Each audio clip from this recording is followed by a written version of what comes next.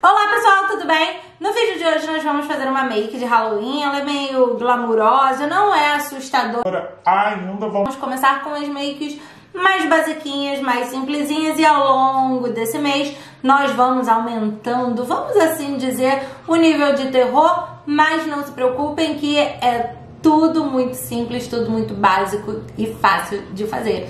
E bora começar com uma super abóbora para o dia de hoje. Vou começar esfumando o meu côncavo com a sombra Corales, da linha Quem Disse Berenice.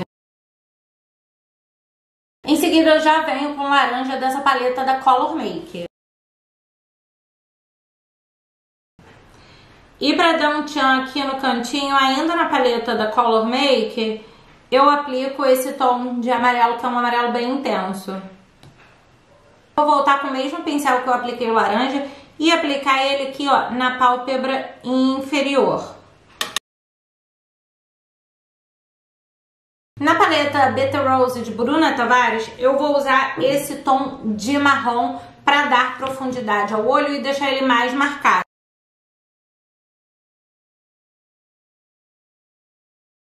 Eu vou colocar um pó banana extra aqui abaixo dos olhos porque tá esfarelando um pouquinho a sombra. E na hora de limpar o excesso desse pó de sombra, estando com o pó em excesso aqui de baixo, limpa mais fácil sem manchar a pele.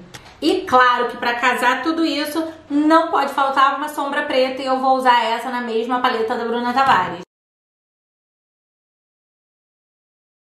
E é claro que eu também vou trazer esse preto para minha pálpebra inferior. E, obviamente, na linha d'água, um lápis preto.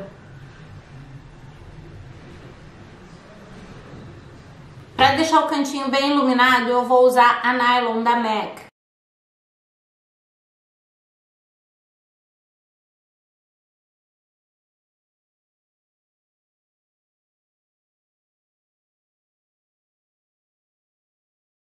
Vou usar máscara volumaço da Eudora Soul, só para juntar os meus cílios naturais aos postiços.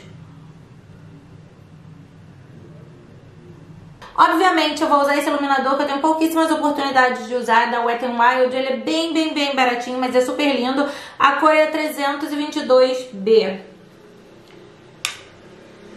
Então vamos deixar um negócio aqui mais dourado, sabe? Uma coisa mais bronzeada, que é algo que eu uso pouco. Olha que bonito. Bem bonito, gostei. Eu vou usar esse lápis da Vizela pra fazer um pré-contorninho.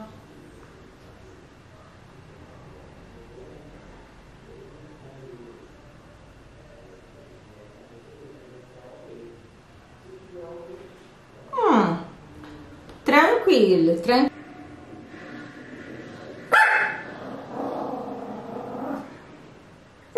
Para preencher, eu vou usar esse pincelzinho aqui.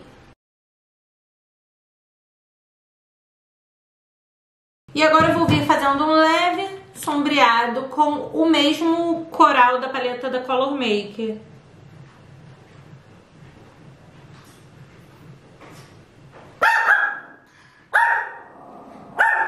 E obviamente não poderia faltar um brilho nessa maquiagem, então eu vou misturar um branco com um pretinho para trazer uma iluminação, vou usar a cola líquida de Bruna Tavares. Aplico primeiro na mão e pego o, excesso da cola com o pincel, que é para não, não grudar mais do que a gente queira, para não ficar engruvinhado, né, aqui aonde a gente vai aplicar o nosso glitter.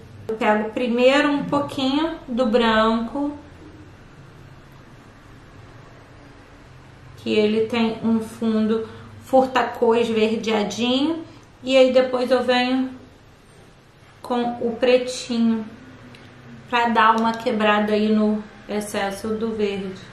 Minha gente, vamos lá. Eu vou voltar com o mesmo lápis que eu usei para marcar ali, né, o chifrinho e vou começar a fazer a boquinha da nossa abóbora.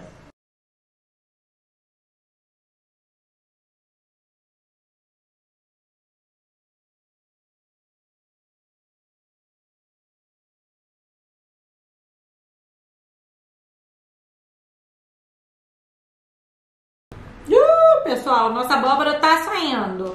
Pessoal, nossa abóbora tá saindo. Eu vou pegar esse pincel que ele tem bastante precisão e vou vir fazendo o sombreado com o laranja.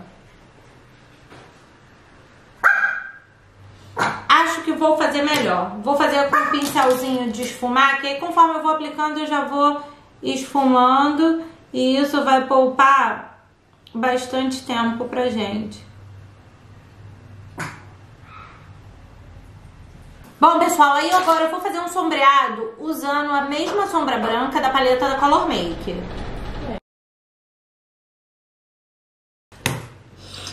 Hum, lá vem ela. Gravar não quer, né? Mas aparecer nos meus vídeos da pinta por aqui, ela quer, né? Tá acabadinho, mas já apareceu, galera.